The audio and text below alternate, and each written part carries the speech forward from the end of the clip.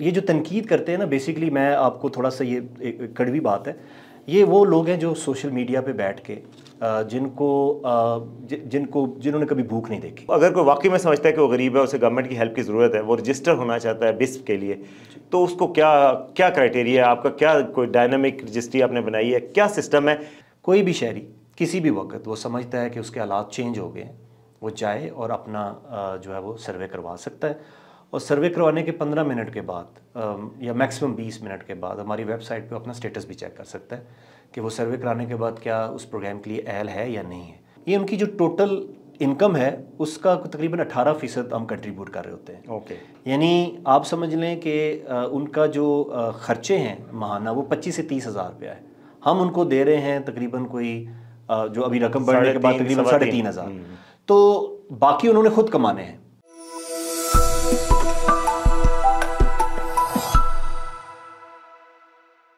Aslam we exclusive के साथ मैं हूँ वसीम अब्बासी। आज हमारे मेहमान एक ऐसी शख्सियत हैं जो पाकिस्तान में गुर्बत के ख़ात्मे के लिए सरगर्म अमल हैं। बेनज़ीर इनकम सपोर्ट प्रोग्राम बिस के डीजी हैं Naveed Akbar Sahab. Welcome to the show Naveed Sahab. बहुत शुक्रिया। बहुत खुशी हुई आपको खुश आमदेद कहते हुए। ये बताइएगा कि बिस इस वक्त पाकिस्तान में कितने कितनी ख़वान की ज़िंदगी को बदल रहा है? जी, बहुत शुक्रिया वसीम साहब। बेनज़ीर इनकम सपोर्ट प्रोग्राम बुनियादी तौर पे आपको पता है कि सतह गुरबत से नीचे ज़िंदगी लोग गुजार रहे हैं। उनकी माली मामनत का प्रोग्राम है। और इस वक्त हम तकरीबन तिरानवे लाख ख़ानदानों को जो सेमाई माली मामनत है, वो फ्राहम कर रहे हैं। उसमें मुख्तलिफ़ किस्म की माली मामनत है। एक माली मामनत है जो कि उनको उनके बच्चों को स्कूल भेजने पे भी दी जाती है जिसको हम कंडीशनल कैश ट्रांसफ़र कहते हैं हम्म। एक माली मामनत है जो कि उनकी हेल्थ एंड न्यूट्रिशन के साथ भी लिंक्ड है और एक माली मामनत है जो जो किसी भी शर्त के बगैर है जो कि हमारी जिसको हम अनकंडीशनल कैश ट्रांसफ़र कहते हैं। सो ये मुख्तलिफ़ किस्म की जो माली मामनत है वो हम तिरानवे लाख मुल्क भर की तिरानवे लाख खवतिन यानी कि तकरीबन फ्राहम कर रहे हैं। एक करोड़ के करीब खवतिन हैं और वो जो उनके साथ ज़ाहिर है उनके हस्बैंड भी होंगे फैमिली भी होगी तो तकरीबन आप क्या करें? आप समझ लें कि ये तिरानवे लाख या एक करोड़ ख़ानदान है। हम्म। क्योंकि जो खातून खाना है उसको हमने इसलिए सिलेक्ट किया हुआ है माली मामनत के लिए कि वो हमारे ख्याल में बेहतर तरीके से जो है वो उसकी स्पेंडिंग कर सकती है उस माली मामनत की। तो ये तिरानवे लाख ख़ानदान या एक करोड़ के तकरीबन करीब ख़ानदान है जो इस प्रोग्राम से मुस्तफ़ हो रहे हैं। अच्छा वो बहुत सारे लोग कहते हैं कि ये इससे कंट्रीब्यूशन क्या हो रही है? गुर्बत वाकई में पाकिस्तान में ख़त्म हुई कि नहीं हुई? तो आपके ख्याल में इस प्रोग्राम में ख़र्चा कितना आता है और उस खर्चे का कोई वाकई में इज़ इट वर्थ इट मतलब कि ये प्रोजेक्ट देखिए बड़ा अच्छा सवाल है आपका। हमारा इस वक्त जो सालाना बजट है वो तकरीबन चार सौ इकहत्तर अरब रुपये है। चार सौ इकहत्तर अरब जी और काफ़ी बड़ी अमाउंट है। आ, इसमें बेसिकली जिस तरह मैंने कहा कि ये बुनियादी तौर पर एक माली मामनत का प्रोग्राम है। गुर्बत जो है वो चंद दिनों से या चंद इंटरवेंशन से या चंद मखसूस प्रोग्रामों से ख़त्म नहीं की जाती। गुर्बत ख़त्म करने के लिए आपको इकोनॉमिक ग्रोथ भी चाहिए मुल्क में आपको ऐसी अपॉर्चुनिटीज़ भी चाहिए जिन जिन के थ्रू लोग जो है उन लोग अपॉर्चुनिटीज़ को पार्टिसिपेट करके फिर गुर्बत से निकलें। ये प्रोग्राम बेसिकली आप ये समझ लें कि जो इनकम और एक्सपेंडिचर का जो गैप होता है, हमारी जो फैमिलीज़ हैं जो सतह गुर्बत से नीचे गुजार होती हैं, उस गैप को फिल करता है। मैं उसकी छोटी सी मिसाल देता हूँ कि अगर आ, किसी की महाना जो आमदन है वो पच्चीस हज़ार रुपया लेकिन उनके अखराज जो हैं वो अट्ठाईस हज़ार अट्ठाईस या तीस हज़ार है। तो वो क्या करेंगे? उनके पास क्या ऑप्शन है उस तीन हज़ार के गैप को फिल करने के लिए? उनके पास ऑप्शन ये है वो किसी से कर्ज़ मांगेंगे उनके पास ऑप्शन ये है वो भीख मांगेंगे या कोई भी ऐसा काम करेंगे क्योंकि उन्होंने अपना गुजर बसर तो करना है। तो बेनज़ीर इनकम सपोर्ट प्रोग्राम या हुकूमत पाकिस्तान जो है वो बुनियादी तौर पर वो आमदन और जो उनके अखराज हैं उस गैप को इस माली मामनत के ज़रिए फिल कर रहे हैं। और ओबियसली इस आ, ये अमदाद इतनी ज़्यादा नहीं है कि इस मदद से लोग सतह गुरबत से जो है वो अपना ऊपर चले जाएँगे उसके लिए वक्त दरकार है। लेकिन अगर ये माली मावनत ना हो तो जो जिन लोगों को हम सपोर्ट कर रहे हैं, जो सतह गुर्बत से नीचे ज़िंदगी गुजारे, वो मज़ीद सतह गुर्बत से नीचे चले जाएँगे। बिकॉज़ उनको अपना, अपनी खुराक, बच्चों के कपड़े, बच्चों की तालीम, उसको मैनेज करने के लिए कहीं ना कहीं से उनको, कहीं ना कहीं से आमदन रिक्वायर्ड है। दूसरी बात यह है कि ये जो माली मामला जो हम फ्राहम कर रहे हैं, ये सिर्फ़ आप ये ना देखें कि जिस खातून खानों को मिल रही है, उसका क्या फ़ायदा है। ये माली मामनत लोकल इकॉनमी को कंट्रीब्यूट करती है। ये जो पैसा हम अपनी खातून खाना के हाथ में देते हैं, वो खर्च कहाँ पे करती है? वो खर्च करती है जाके अपनी लोकल करियाना की शॉप पे। तो वहाँ पे एक इकोनॉमिक एक्टिविटी जनरेट होती है, उसकी एक एम्प्लॉयमेंट जनरेट होती है। वो लोकल करियाना शॉप जो है, वो अपने शहर की होलसेल शॉप के ऊपर जो है, वो परचेजिंग के लिए खर्च करते हैं। तो ये ये जब खातून खाना के हाथ में पैसा जाता है तो बेसिकली आप ये कहें कि ये लोकल इकॉनमी को कंट्रीब्यूट कर रहा है। तो ये चार सौ इकहत्तर अरब रुपया किसी मॉल में खर्च नहीं हो रहा ये लोकल इकोनॉमी में खर्च हो रहा है। तो उस की वजह से जो लोग इकोनॉमिक एक्टिविटी जनरेट होती है सतह गुरबत से नि, निकलते हैं वो इसका एक प्लस पॉइंट है। अच्छा। तो ये लेकिन कुछ लोगों का देखें एक और इतराज़ जो लोगों की तरफ़ से आता है वो कुछ लोगों की तरफ़ से आता है मतलब उन लोगों की तरफ़ से नहीं जो बेनिफिशरी हैं लेकिन कुछ लोगों की तरफ़ से ये इतराज़ आता है कि जी ये इतने पैसे, चार सौ इकहत्तर जॉब क्रिएशन पे लग सकते थे। लोगों को फ़ाल शहरी बनाने में कारामद शहरी बनाने में इस्तेमाल हो सकते थे। इन लोगों को हम एक आदि बना रहे हैं पैसों का पे आउट्स का आदि बना रहे हैं बेसिकली तो आपके ख्याल में एक ये तरीका नहीं था कि अगर हम उनको कोई हुनर सिखा देते, जिस तरह के हमारे इस्लाम में भी है कि हुनर सिखा दें, वो खुद सेल्फ सफिशेंट हो जाएँ।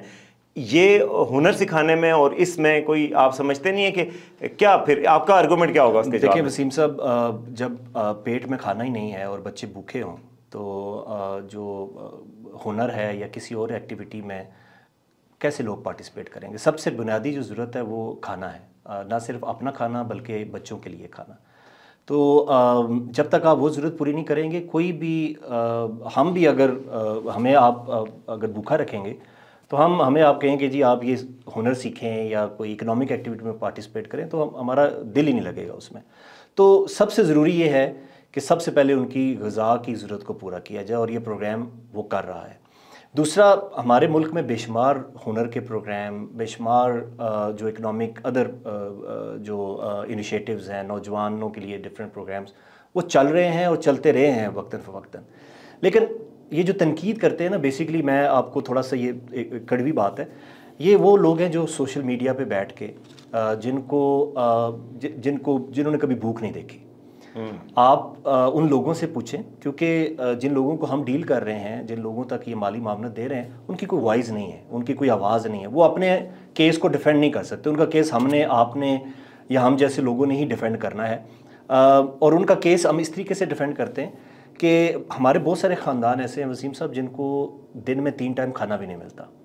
मैं आपको और ये बात कभी कभी सोचते हुए मैं नींद भी नहीं आती कि मैंने ऐसी फैमिलियों के साथ भी इंटरेक्ट किया है जिनको जब हम पूछते हैं कि आप दिन में कितने टाइम खाना खाते हैं तो वो कहती हैं कि अगर हमारा बच्चा एक से ज़्यादा रोटी मांग ले तो हम भूखे रहते हैं। यानी जो वालदेन हैं उनके वो भूखे रहते हैं क्योंकि बच्चों का पेट हम पहले भरते हैं। अच्छा। तो और और और उन ख़वातीन को जो लंबी लंबी कतारों में खड़ी हो के गर्मी में सख्त सर्दी में पहाड़ी इलाकों में भी आप जाएँगे बर्फबारी होगी लेकिन हमारी कैश ग्रांट के लिए वो लंबी लंबी लाइनों में लगते हैं। तो इस कैश ग्रांट की इस माली मामनत की अहमियत उनसे पूछनी चाहिए।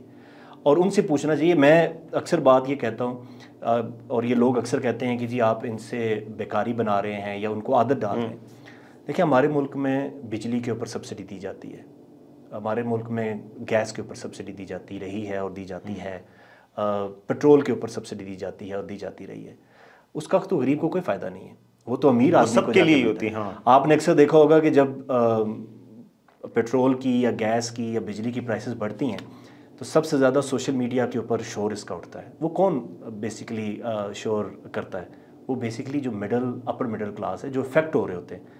वो वो इफ़ेक्ट हो रहे होते हैं ना। गरीब बंदे को तो आप बेशक पेट्रोल जितना मर्ज़ी महँगा कर दें उसको कोई परवाह नहीं है। उसको पता है कि उसके पास तो साइकिल है उसने तो यूज़ करनी नहीं है। उसके ऊपर इंडायरेक्ट असर पड़ता है। पड़ता है इनडायरेक्ट असर पड़ता है। ट्रांसपोर्टे गुड्स ट्रांसपोर्ट उसके लिए बेसिकली उसके हाथ में डायरेक्ट कैश ट्रांसफ़र जो है वो पहुंचाना ज़रूरी है। यानी ये एक आप कहना चाह रहे हैं कि ये डायरेक्ट सब्सिडी है इनडायरेक्ट exactly. सब्सिडी के मुकाबले में जो कि हमारे फॉर्मर कुछ वजरा ख़जाना भी कहते रहे कि उसका फ़ायदा कोई नहीं होता अमीर लोग फ़ायदा उठा जाते हैं। देखिए ना अगर मैं छोटी सी मिसाल दे रहा हूँ कि अगर आटे पर आप सब्सिडी देते हैं तो वो तो हर बंदा हर एक के लिए। हम्म। लेकिन अगर आप आटा उसकी एक्चुअल प्राइस पे बेचें और जो बंदा इफ़ेक्ट है यानी जो पूरे शब्द पूरा है गरीब है उसको आप वो सब्सिडी कैश की सूरत में दे दें। बिल्कुल। अच्छा इससे फिर अगला सवाल ये पैदा होता है कि ये जो लोग आपने चुने हैं, ये वाकई पूरा ऑफ़ द पुअर हैं भी कि नहीं हैं?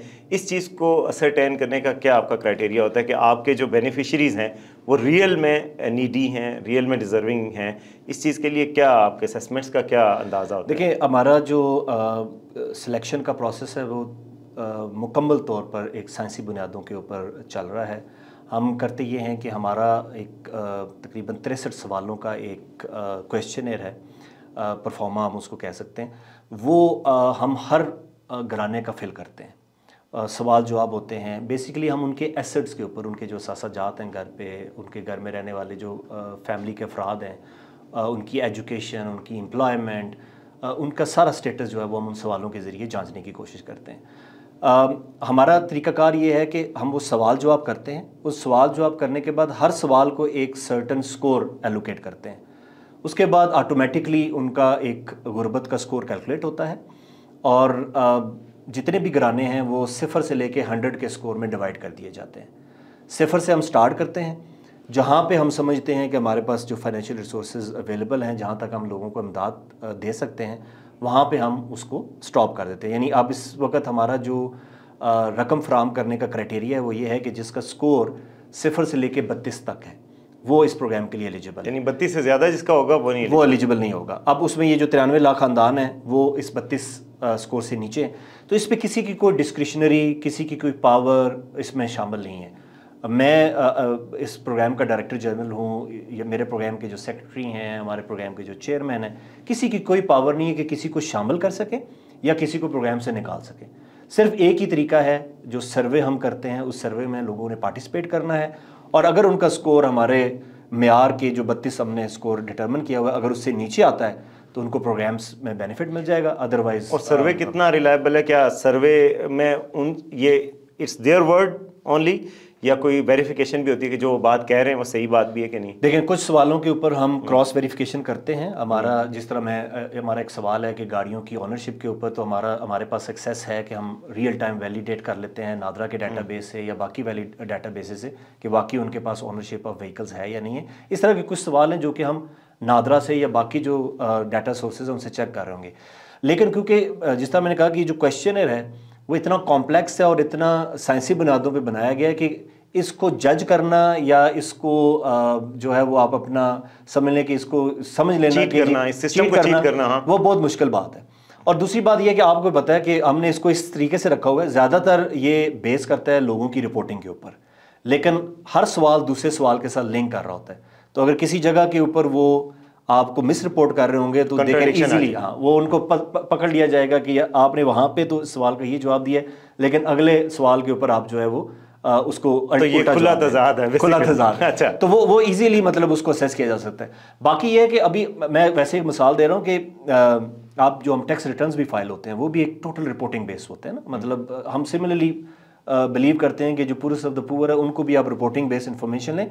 उसके बाद आप आ, उनकी उनकी कैलकुलेशन करें और जो सतह गुरबत से नीचे आ जाता है उसको आप माली मामला तो आप आप आप तो इस प्रोग्राम के साथ मुझे पता चला कि बहुत अरसे से मुंसलिक हैं बिल्कुल बानियान में से हैं। तो आप मुतमिन हैं कि ये जो तिरानवे लाख लोग हैं इनमें से आपके ख्याल में कितने परसेंट ऐसे हैं जो वाकई में बिल्कुल मुस्तक हैं सौ फ़ीसद? देखिए वसीम साहब हर प्रोग्राम में थोड़ा बहुत गुंजाइश तो होती है, है। कुछ लोग जो है वो झूठ बोलते हैं या बहुत ज़्यादा मिस रिपोर्टिंग करते हैं। लेकिन मैं आपको बताऊँ कि हमने इसकी एक थर्ड पार्टी असेसमेंट भी करवाई। हम ना सिर्फ़ ये डाटा कलेक्ट करते हैं बल्कि उसकी फिर सैंपल बेसिस के ऊपर थर्ड पार्टी वेरिफिकेशन करते हैं। उस थर्ड पार्टी वेरिफिकेशन की मैं आपको रिज़ल्ट बता रहा हूँ। हमारे अपने रिज़ल्ट नहीं हैं। उनके मुताबिक तकरीबन तिरानवे से पचानवे फ़ीसद जो ख़ानदान हैं वो जेनुअनली पूरा शब्द पूरे हैं। जो बाकी भी पाँच परसेंट है वेरी गुड जो बाकी भी पाँच परसेंट hmm. है वो भी दे आर नॉट दैट पूरे शब्द पूरे यानी उतने गरीब नहीं है जितने एक्चुअली मतलब ये जो पचानवे परसेंट है। लेकिन uh, ये एक थर्ड पार्टी असेसमेंट है। uh, मतलब नब्बे फ़ीसद से ज़्यादा हो तो चले नब्बे फ़ीसद लोग तो मुस्तक हैं जिनको मिल रहे हैं। दुनिया में hmm. पंद्रह से बीस फ़ीसद गलती की गुंजाइश होती है इस तरह के प्रोग्राम में। और हम ये कहते हैं कि ये उन प्रोग्रामों से बेहतर है जो आप अनटारगेटेड चला रहे होते हैं जिसमें पता ही नहीं है सारे बंदे। अच्छा जो इसके बारे में स्कैंडल्स भी आए थे पिछले पिछली गवर्नमेंट के दौर में जी के बड़े अमीर अमीर लोग सत्रहवें ग्रेड से ऊपर के अफसर वो भी रजिस्टर्ड हुए हुए थे। अब वो खात्मा हो चुका है या वो अभी भी कोई उसका जी एक तो मैं वसीम साहब आपको बता दूँ कि जो उसकी परसेंटेज है ना वो ज़ीरो पॉइंट ज़ीरो ज़ीरो से भी कम है। यानी अब टोटल हम्म। जो हम बात कर रहे हैं ना जो जिन लोग ये जो गवर्नमेंट एम्प्लॉज इस तरीके से आए थे वो हमने 2019 में ही उनको प्रोग्राम से निकाल दिया था। और इसमें बेसिकली जो ग्रेड सत्रह से ऊपर है उनका अगर परसेंटेज देखें ना बिल्कुल ही थोड़ी सी है। वो आप गिनती पे हैं। बाकी जो ज़्यादातर लोग हैं वो नायब कासद या ग्रेड वन टू फोर की कैटेगरी जो रियल में डिजर्व करते हैं। जो बेसिकली जिनको अगर मिल भी जाता तो कोई कोई इशू नहीं था क्योंकि हमारा जो क्राइटेरिया था उस वक्त वो ये था कि तीस हज़ार महाना इनकम से कम जिनकी इनकम है वो इसके लिए एलिजिबल है। और हमारी जो नायब कासद या चौकीदार या जो ग्रेड वन टू फोर की तनख्वाह है वो तकरीबन पच्चीस से तीस हज़ार ही होती थी उस वक्त। तो वो हमने 2019 से उनको प्रोग्राम से निकाल दी। अब गवर्नमेंट का कोई एम्प्लॉई जो है इस प्रोग्राम से बेनिफिट नहीं ले सकता। लेकिन वो हाईलाइट बहुत ज़्यादा हो गया।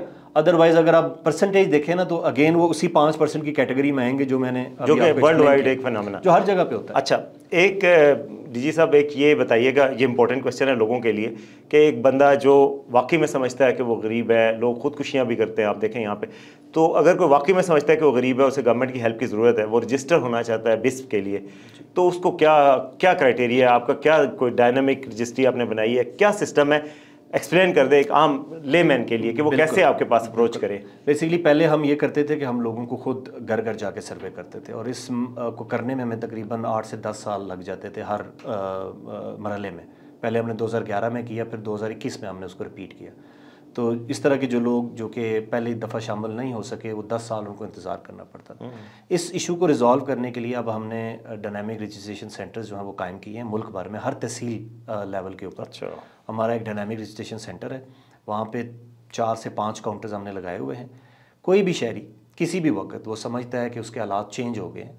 वो जाए और अपना जो है वो सर्वे करवा सकता है। और सर्वे करवाने के पंद्रह मिनट के बाद या मैक्सिमम बीस मिनट के बाद हमारी वेबसाइट पे अपना स्टेटस भी चेक कर सकता है कि वो सर्वे कराने के बाद क्या उस प्रोग्राम के लिए अहल है या नहीं है। तो अब उनको तीन साल, पाँच साल, दस साल इंतज़ार करने की ज़रूरत नहीं है। और ये दोनों घरानों के लिए है। जो प्रोग्राम से मुस्तफ़ नहीं हो रहे वो भी करवा सकते हैं। और जो मुस्तफ़ हो रहे हैं उन पर लाजमी है कि वो हर तीन साल बाद आके अपने आप को असेस करवाए। अगर वो उनका स्टेटस उसी तरीके से है जो तीन साल पहले था वो अपना आ, माली मामला जारी रखेंगे। अगर उनके हालात चेंज हो गए हैं और कुछ ऐसे ख़ानदान हैं जिनके हालात नेगेटिवली चेंज हुए हैं यानी नीचे चले गए हैं हम्म। वो उनकी जगह ले लेंगे। तो अब ये सिलसिला डायनामिक रजिस्ट्रेशन सेंटर का मुल्क भर में जारी है। और ये किसी वक्त भी कोई करवा किसी आज भी जाके करवा किसी वक्त भी हफ़्ते में छः दिन हम्म। मंडे से लेके यानी पीर से लेके हफ़्ते तक सिर्फ़ इतवार की छुट्टी होती है लोग जाके अपना रजिस्ट्रेशन करवा सकते हैं। कोई कदर नहीं है किसी किस्म की कोई अच्छा। अच्छा अब ये बता दें कि मिलता क्या है उसको? मतलब एक गरीब घराने को जो रजिस्टर हो जाता है और जो आपके क्राइटेरिया को फुलफिल भी करता है उसको कितनी अमाउंट मिलती है? तीन महीनों के लिए मिलता है ना शायद? जी बिल्कुल। हम्म। आ, हम सेमाई जो अभी रकम आ, हमने क्योंकि हाल ही में उसमें इजाफा किया है हम्म। पहले उनको सेमाई आठ हज़ार सात सौ पचास रुपये हम देते थे लेकिन इस सेमाई से जो इन हम फरवरी के आखिरी हफ़्ते में या मार्च के पहले हफ़्ते में जारी करेंगे इसमें हम इन दस हज़ार पाँच सौ रुपया जो है वो फ़ी ख़ानदान सेमाई जो है वो यानी इजाफा कितना हुआ? तकरीबन सत्रह सौ पचास रुपये का फ़ी कराना फ़ी कराना इजाफा किया जो कि तकरीबन कोई बीस से इक्कीस परसेंट बनता है उनकी जो टोटल अभी हम उनको दे रहे हैं उस उस हिसाब से। और ये जो रकम है वसीम साहब ये जो आपने बात की ना कि ये बेकारी ना लोगों को बनाए ये उनकी जो टोटल इनकम है उसका तकरीबन अठारह फ़ीसद हम कंट्रीब्यूट कर रहे होते हैं। ओके। okay. यानी आप समझ लें कि उनका जो ख़र्चे हैं महाना वो पच्चीस से तीस हज़ार रुपया है।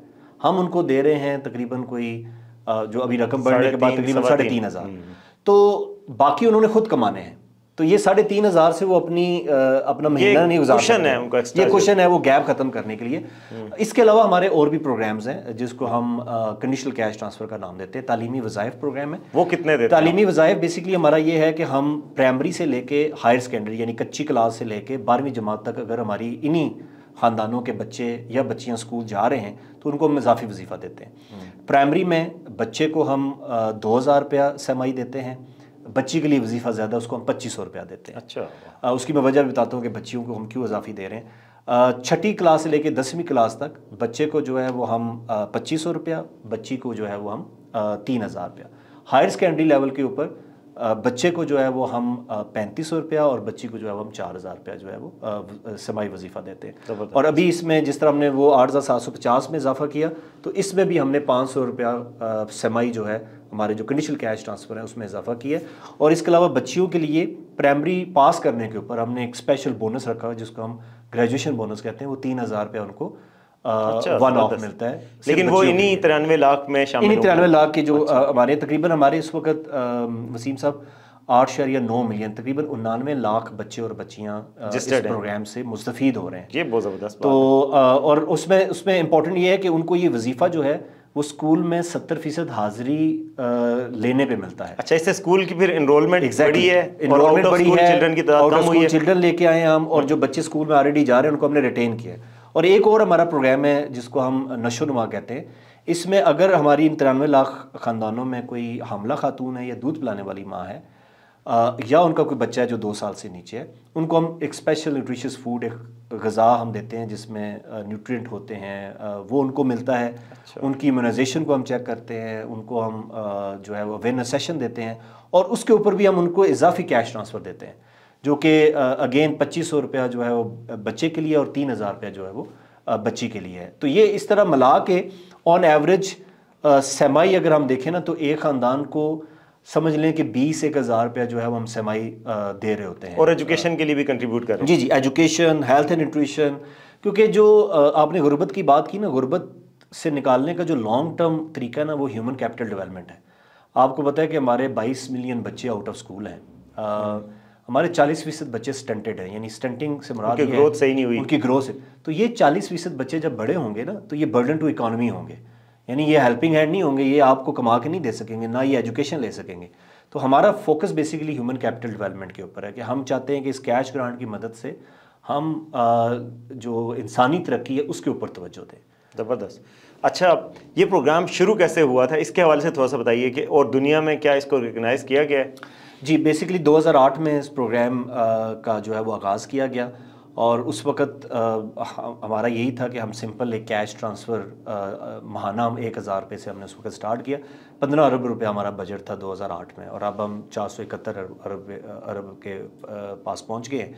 और दुनिया में बेसिकली ये जो हम बहुत सारे प्रोग्राम हैं जो ब्राज़ील में और मेक्सिको में जो बड़े प्रोग्राम्स में से हैं अब हमारा प्रोग्राम बेसिकली उनको भी क्रॉस कर गया। कवरेज के हिसाब से यानी जो ख़ानदान जिनको हम कवर कर रहे हैं जब हमने आगाज़ किया उस वक्त हम तकरीबन सत्रह से अठारह लाख लोगों को 2008 में जब हमने शुरू किया तो हम ये बेनिफिट दे रहे थे। हम्म। अब हम तकरीबन तिरानवे लाख जो कि बहुत जल्द इंशाल्लाह गुना ज़्यादा हो गया पाँच गुना ज़्यादा। तो अब ये दुनिया के आप समझ लें कि पहले जो टॉप थ्री प्रोग्राम्स हैं उसमें इसका शुमार होता है। अब तकरीबन हर दो तीन महीने के बाद इंटरनेशनल विजिटर हमारे पास आ रहे होते हैं। अभी मार्च में जोगंडा का विज़िट आएगा इससे पहले यमन के लोग हमारे पास आए। अच्छा। आ, तो फिर तो, अगर ये ये इतना सक्सेसफुल प्रोग्राम है तो जो यूएन फ़ूड प्रोग्राम है ये दुनिया में जो कोशिश कर रहे हैं यूएन के गुर्बत ख़त्म करे या भूख ख़त्म करे तो वो इसको सब्सिडाइज नहीं करते इमदाद नहीं देते पाकिस्तान को इस प्रोग्राम के लिए कोई ख़ास इमदाद नहीं मिलती बाहर देखिए हमारे हमारे साथ इस वक्त पाकिस्तान में जितने भी आलमी इदारे काम कर रहे हैं वो सारे हमारे पार्टनर्स हैं। अच्छा। वर्ल्ड बैंक इस प्रोग्राम को फाइनेंस कर रहा है। एशियन डेवलपमेंट बैंक बैंक जो है इस प्रोग्राम को फाइनेंस कर रहा है। बाकी जितनी भी यूएन एजेंसीज हैं यूनिसेफ है वर्ल्ड फ़ूड प्रोग्राम है डब्ल्यू एच ओ है वो हमारे साथ काम कर रहे हैं जो हमारा नशरमा का प्रोग्राम है। तीनों एजेंसियाँ हमारे साथ पार्टनर हैं उसमें।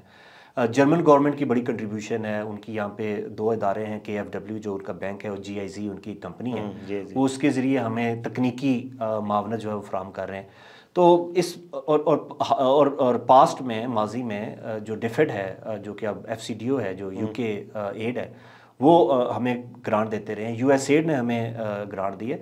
तो अब जितनी भी यू एन एजेंसी या डेवलपमेंट पार्टनर्स हैं वो इस प्रोग्राम को एज अ रोल मॉडल जो है वो प्रेजेंट करते हैं। और दुनिया दुनिया भर में और हम अक्सर प्रेजेंटेशन दे रहे हैं। ये जो डायनेमिक रजिस्ट्री की हम बात करें पाकिस्तान दुनिया में दूसरा या तीसरा मुल्क है जो डायनामिक रजिस्ट्री के ऊपर शिफ्ट हुआ है।